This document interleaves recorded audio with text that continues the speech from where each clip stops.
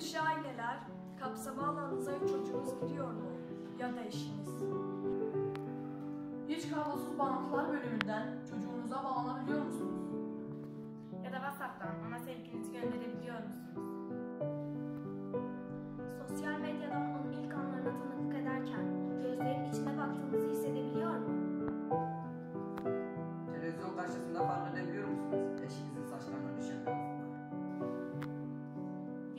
Videolarda izlerken onları, seslerini duyarken uzanıp dokunabiliyor musunuz?